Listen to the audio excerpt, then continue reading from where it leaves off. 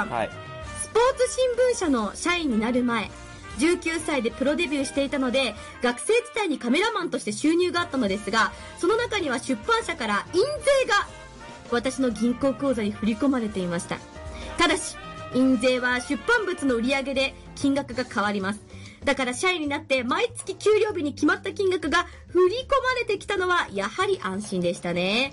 41年前になりますが、初めて振り込まれてきた初任給は、確か群馬の実家に出張先の博多から現地で買った海産物を送ったんです。まだ、からし明太子が群馬では珍しかったので、喜ばれた記憶がありますよ、といただきました。えー、明太子って珍しかったんだ。からし明太子珍しかったみたいですよ。そうなんだ。えー、41年前。41年前。えあ、そうなー、んだ。80年代はそうだったのか。じゃあちょうど豊さんが生まれた頃は。明明太子ってこっちじゃあんま食えなかったのか。みたいですねえだから嬉しかったみたいですよ。ー、そうなんだ。はあ。意外だな。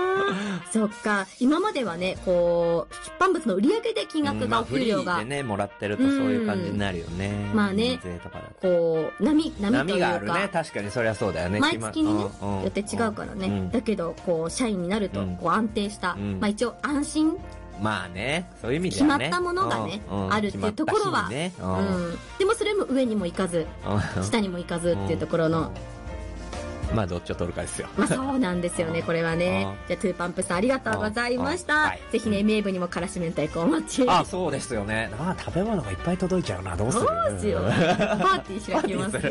なんかでもさ、あの、磯臭くね、絶対に。うなぎとかさ、その一つかさ、その、海系の海鮮の最高この、ここ臭くなるよ。いいよいいよ。いいんだ。やっぱ群馬海ないからあーそうか憧れだし。感じるか、うん海感じながらじゃあちょっとラジオやるんで、ぜひ送ってください。最悪だね。最悪なのかよ。いや、俺は最高だと思ってるから待ってるぜ。本当こそもう私たちがねだるところが最あ、悪ですよ。最悪。そうですよ。はい、すいません。